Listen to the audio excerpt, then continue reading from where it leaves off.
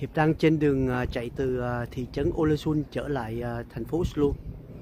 Trên đoạn đường trên 500 cây số này, Hiệp dừng lại dừng lại những cảnh đẹp.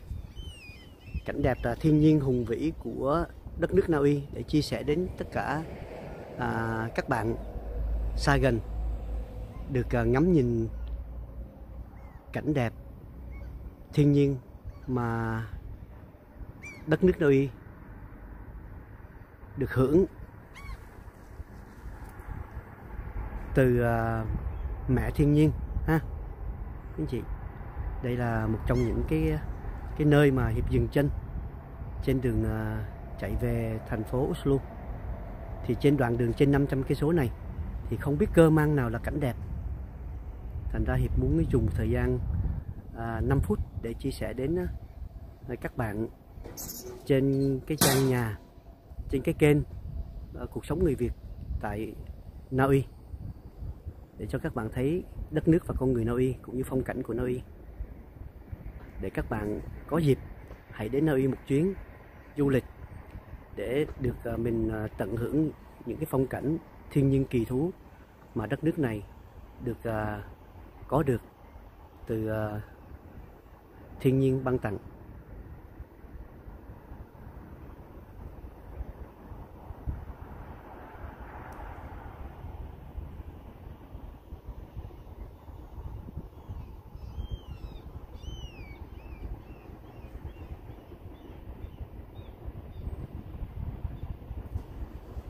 Hiện giờ bây giờ là đã đầu, mới đầu tháng 7 thật sự mùa hè rồi.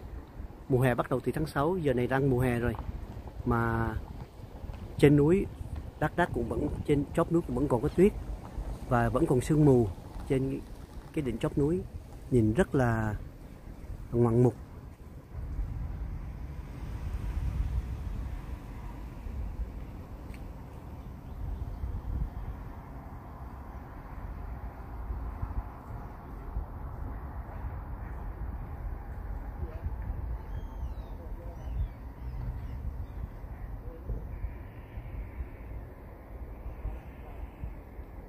5 phút nha quý anh chị.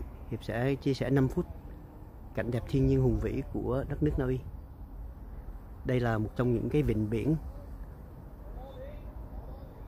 Và đây cũng là cái trạm dừng chân. Kế bên là cái cây xăng. Để mà du khách dừng chân lại, nghỉ ngơi ăn uống.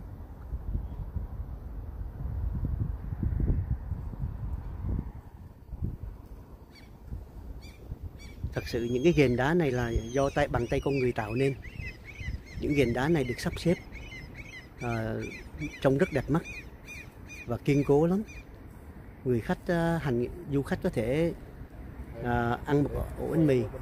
Và dạ, ăn một ổ bánh mì uống một ly cà phê ngồi đây để ngắm nhìn cảnh thiên nhiên với dòng nước trong vắt.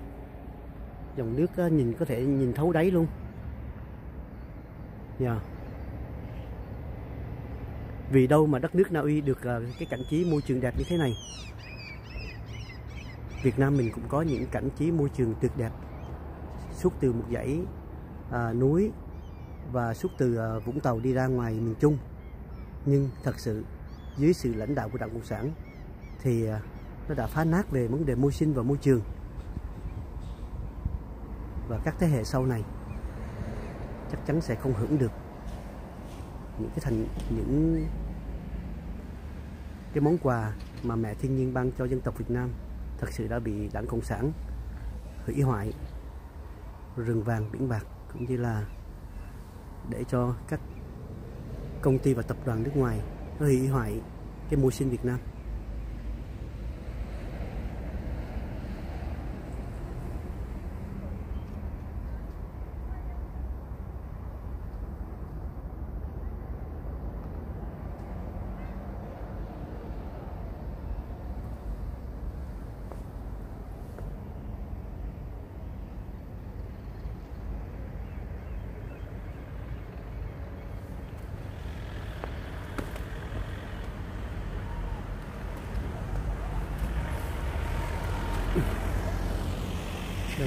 Đây đây là quan cảnh cây xăng.